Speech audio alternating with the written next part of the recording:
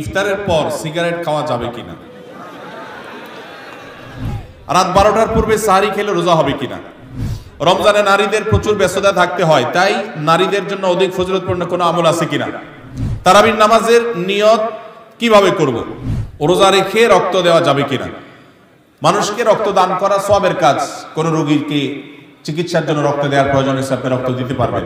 কিন্তু রোজা রেখে দিতে পারবেন কিনা? উত্তর হলো যদি রোজা রেখে রক্ত দিলে আপনার রোজার কোনো ক্ষতি না হয়, আপনি দিতে পারেন। রোজার ক্ষতি না হওয়া মানে?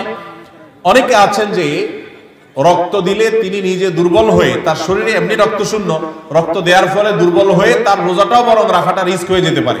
এরকম যদি হয় কেউ, তাহলে তার জন্য এটা করা উচিত না, জায়েজ না, যেহেতু তার রোজা হুমকির মধ্যে পড়ে যাবে। আর এরকম সচরাচর বেশিরভাগ লোক এরকম না। সুস্থ, স্বাভাবিক, আলহামদুলিল্লাহ, যে এক ব্যাগ রক্ত আমি দিলে আমার অসুবিধা হবে না, আমি রোজা রাখতে পারব। তাহলে সে অবস্থায় রোজা অবস্থায় রক্ত দিলে রোজা ভঙ্গ হবে না। ইফতারের পর সিগারেট খাওয়া যাবে কিনা? বিসমিল্লাহ, এই প্রশ্ন।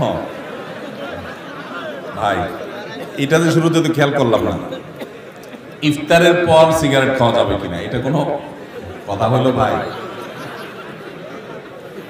ইফতারির পর, আসলে হয়তো বা প্রশ্নটা এমন কোনো ভাই করছেন যিনি যিনি প্রশ্নটা লিখে পাঠিয়েছেন, হয়তো এই বেচারা সিগারেটের বদভ্যাস আছে, আবার লোকটা রোজাদার তো সারাদিন ধূমপান ছাড়া থাকতে থাকতে থাকতে থাকতে বেচারা অধৈর্য হয়ে ইফতারের পরপরই হয়তো বা সিগারেট দিয়ে ইফতার করে কিনা, আল্লাহ জানে।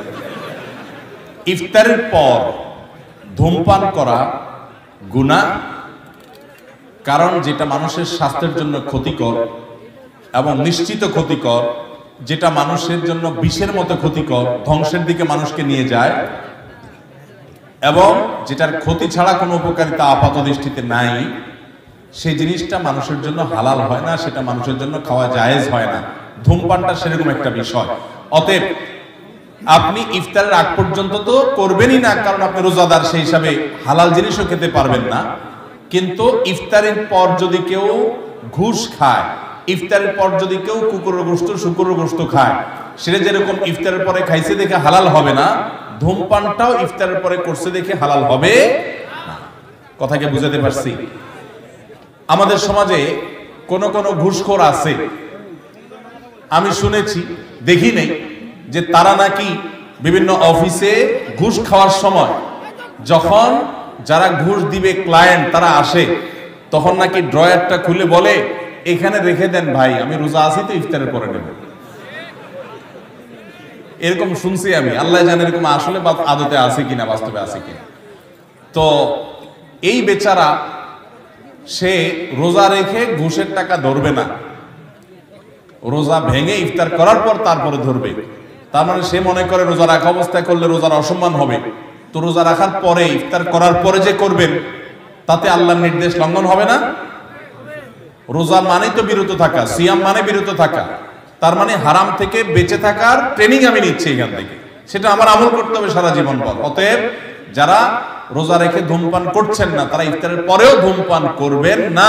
আল্লাহ আমাদের ভাইদেরকে বেঁচে থাকার তৌফিক দান করবে যদি কোনো কারণে শয়তানের প্ররোচনার পরিচিতি আপনি করেই ফেলেন, তো আপনি প্রতিজ্ঞা করবেন আস্তে আস্তে সেখান থেকে বের হয়ে আসার রোজা অবস্থায় ধূমপান করলে তো রোজাও ভাঙবে আবার রোজা ভাঙার গুণাও হবে, ধূমপানের গুণা হবে ডাবল গুণা হবে। ইফতারের পরে করলে আপনি ধূমপানের গুণাকার হলেন রোজা ভাঙার গুণাকার হলেন না জাস্ট পার্থক্য এতটুকু, কিন্তু সেটাও অবশ্যই গুণা হবে। আমি প্রায় বলার চেষ্টা করি, যারা ধূমপানের বদভ্যাসে আক্রান্ত, আসক্ত, ছাড়তে পারতেছেন না, রোজার মাস দারুণ সুযোগ। কীভাবে দারুণ সুযোগ? আমরা বাংলাদেশে মানুষ কয় ঘণ্টা রোজা রাখি? ষোলো ঘণ্টা, পনেরো ঘন্টাই ধরেন। পনেরো ঘণ্টা যদি আপনি রোজা রাখেন, ইফতারি, মাগরিবের নামাজ, ইফতার করে এসে আবার খেতে বসেন, এই পুরো সময় মিলে রাতের খাবার সহ মিনিমাম এক ঘণ্টা তো লাগে নাকি? তাহলে ষোলো ঘণ্টা এঙ্গেজ হয়ে গেলেন। তারাবিন নামাজ আর এক ঘণ্টা, সতেরো ঘণ্টা। সাহারি আপনার ঘুমাইতে যান আপনার ছয় ঘণ্টা মিনিমাম, তাহলে কত ঘণ্টা হলো? তেইশ ঘণ্টা। আর সাহারি খাওয়া টাওয়া মিলিয়ে ফজর নামাজ মিলিয়ে বা ফজর নামাজ তো রোজার মধ্যে চলে গেল। সারি খাওয়া এবং ঘুমের, ঘুম থেকে উঠা, এই পুরো সময় মিলে আরও এক ঘণ্টা। তাহলে চব্বিশ ঘণ্টা হয়ে গেল। আর যদি বলেন যে না, এক ঘণ্টা পরে যায় না সারিতে, তাহলে আধা ঘণ্টা সাহারিতে গেলে আর আধা ঘণ্টা থাকে। রমজান মাসে কেউ এই আধা ঘণ্টা, এক ঘণ্টা সময় কষ্ট করে তার নেশাটাকে আটকে রাখতে পারলেই তার দ্বারা পুরো তিরিশ দিনে অভ্যাসটা পরিবর্তন করা সম্ভব। কারণ তেইশ ঘণ্টা তার ধূমপানের সুযোগই নেই। বিশেষ করে পনেরো ঘণ্টা রোজা আর ছয় ঘণ্টা ঘুম। তাহলে একুশ ঘন্টাতে এখানে ফিক্সড আর বাকি ইফতার, তারাবি, অন্য সব মিলে যদি আরও এক দুই ঘন্টাও দেন, তো বাইশ তেইশ ঘন্টাতে আপনি এমনি ধূমপান করতে পারতেছেন না। আর এক দুই ঘণ্টা কষ্ট করলেই ধূমপান ছাড়া সম্ভব, শুধু হিম্মত করতে হবে। আল্লাহ আমাদের ধূমপাই ভাইদেরকে ধূমপান রমজান মাসে অন্তত ত্যাগ করার তৌফিক দান করুন। রাত বারোটার পূর্বে সাহারি খেলে রোজা হবে কিনা? যদি কেউ রাত বারোটার পূর্বে সাহারি খায় তাহলে রোজা হয়ে যাবে। এমনকি মধ্যরাতে কেউ, শুরুর রাতে কেউ খেয়ে শুয়ে গেছে, সাহারি আর খায় নাই, তারও রোজা হয়ে যাবে। কিন্তু সাহারি খাওয়াটা সুন্না নবী করিম সাল্লাম বলেছেন বারাকা। তোমরা সাহারি খাও, কারণ সাহারির খাবারের ভিতরে বরকত আছে। অনেক মুরব্বীরা আছেন, দুপুর রাতে সাহারি খেয়ে ফেলে গ্রামাঞ্চলে বিশেষ করে। এটা উচিত না। সাহারিটা শেষের দিকে খাওয়া সুন্নাত। সাহারি খাওয়া শেষ হবে আর ফজরের আজান, এই দুইটার মাঝখানে পঞ্চাশটা আয়াত তেলাওয়াতের মতো সময় থাকবে। এটা হলো সুন্না অতএব সাহারিটা দেরিতে খাওয়া ভালো। কিন্তু যদি কেউ আগে খেয়ে ফেলে, রাত বারোটার আগে খেয়ে ফেলে, রোজা হয়ে যাবে, সুন্নতের খেলাফ হবে। রমজানে নারীদের প্রচুর ব্যস্ততা থাকতে হয়, তাই নারীদের জন্য অধিক ফজিলতপূর্ণ কোনো আমল আছে কিনা? আমাদের মা বোনরা রমজানে অনেক বেশি ব্যস্ত হয়ে পড়েন। মা বোনরা রমজানে বেশি ব্যস্ত হয়ে পড়েন সেজন্য তাদের ব্যস্ততা কমিয়ে আমল এবং ইবাদতের সুযোগ করে দেওয়ার দায়িত্ব আমাদের পুরুষদের। রমজান আসছে, সিয়াম বিরত থাকার জন্য পানাহার দিনের বেলা আল্লাহ তাআলা নিষেধ করে দিয়েছেন। আমরা এই পরিমাণ খানা খাই যে রমজানে আমাদের খানার চোটে মা বোনরা ইবাদত করতে চাইলেও করতে পারে না। দুপুর তিনটা, চারটা থেকে ইফতার বানানো শুরু হয় বেচারীদের। আমরা মাগরিবের সময় খাই, মাগরিবের পরেও তাদের কাজ করা লাগে। আমরা পরিকল্পনা করব এখন থেকে যে আমাদের ইফতারের আইটেমগুলো কমাবো এবং রমজানের আগে থেকে ঝামেলাগুলো সেরে ফেলব, যাতে করে মহিলাদের বেশি একটা ইবাদত করতে বিঘ্ন সৃষ্টি না হয়। পুরুষরা সহযোগিতা করব, যাতে করে তারা ইবাদত করতে পারেন। তবে তারা যে চেষ্টা করছেন রোজাদারের জন্য, সেটাও তাদের ইবাদতের সব এনে দিবে। সেই সাথে কাজের ফাঁকেও তারা জিকির আজকার, দোয়া দরুদ করতে পারেন, মাসিক অবস্থায় ইসলামিক বই পড়তে পারেন, জিকির করতে পারেন, দোয়া করতে পারেন। এভাবে তারাও রমজান মাসটাকে ফলপ্রসূ করতে পারেন। আল্লাহ তারা তাদেরকেও সব দিবেন ইনশাআল্লাহ। তারাবির নামাজের নিয়ত কীভাবে করব? তারাবির নামাজের নিয়ত কীভাবে করবেন? কারণ মুখস্থ আছে তারাবির নিয়ত? নামাই তোয়ান বলেন, কার মুখস্থ আছে? একজন বলেন অন্তত। তারাবির নিয়ত কে বলতে পারবে? বলেন বলেন ভাই।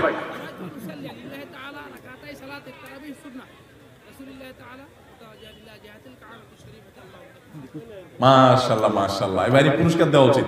বসেন, আপনি কষ্ট করে মুখস্থ করছেন। তুমি বগুড়া লোক ভাই? কালো কালো। আচ্ছা ভাই, তারাবির নামাজ বা যে কোনো নামাজের নিয়ত জরুরি। নিয়ত ছাড়া কোনো আমল হবে না। কিন্তু নিয়তটা হলো মনের ইচ্ছার নাম। নিয়তটা কিসের নাম? আমি ভাইকে দিয়ে নিয়তটা কেন শুনছি, সেটা আপনারা জানেন? জানেন না আপনারা। আমি ওনাকে দিয়ে কেন শুনলাম বলেন তো?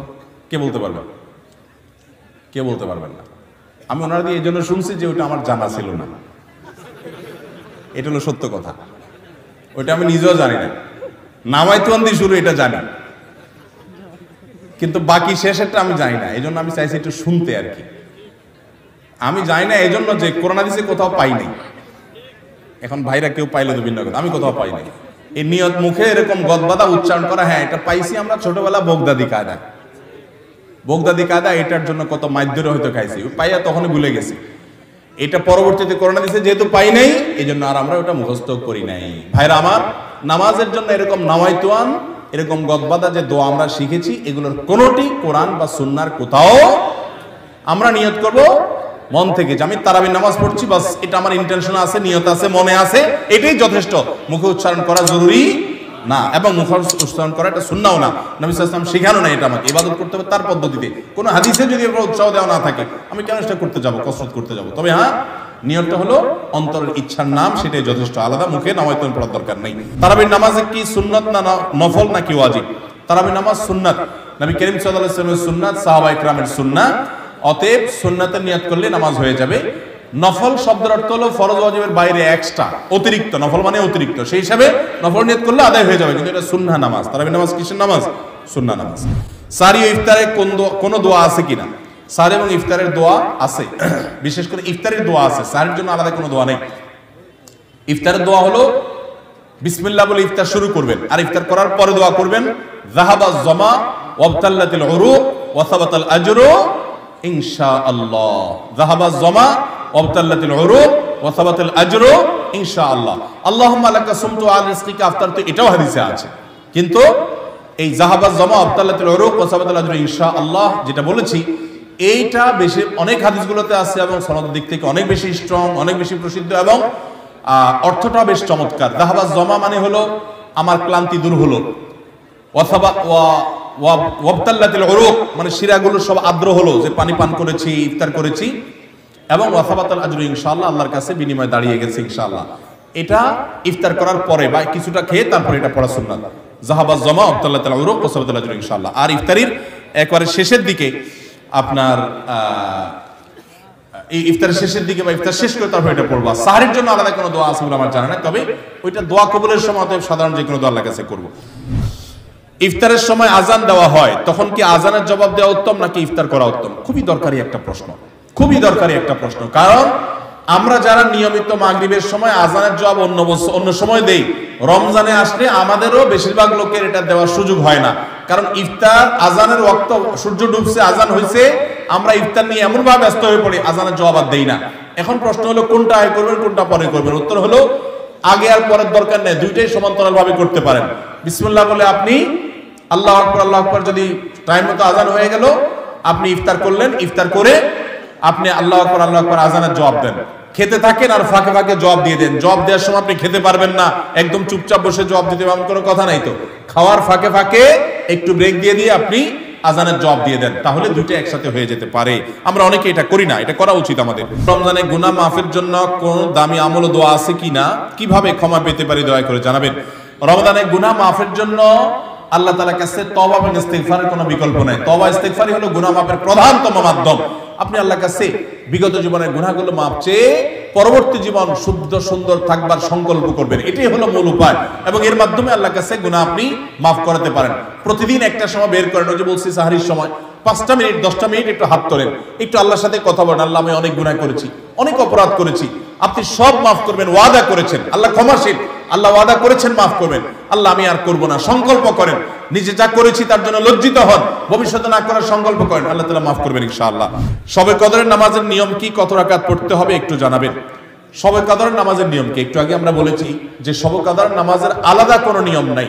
অন্য যে কোনো সময় যে আমরা নফল নামাজ পড়ি, ঠিক একই পদ্ধতিতে আমরা সবে কদরে পড়ব, লাইলাতুল কদরেও পড়ব আমরা বিশেষ করে অনেকে মনে করি লাইলাতুল কদরের প্রথম রাকাতে অমুক সূরা এতবার পড়তে হয়, সূরা ফাতিহার পর দ্বিতীয় রাকাতে তমুক সূরা ততবার পড়তে হয়। এগুলো সবগুলা মানুষের নিজেদের বানানো। কোরআন বা হাদিস এরকম কোন ফরম্যাট সবে কদরের জন্য আলাদা ঠিক করে দেয় নাই। ওইটাকে আমরা আবশ্যক বানালে মানুষটা বেদাত হতে হবে। বেদাত হতে পারে। আমরা দুই রাকাত দুই রাকাত করে যত লম্বা সময় পারি যে কোনো সূরা দিয়ে পারি আমরা বেশি বেশি করে নামাজ পড়ব সবাই কদর ইনশাআল্লাহ। তাআলা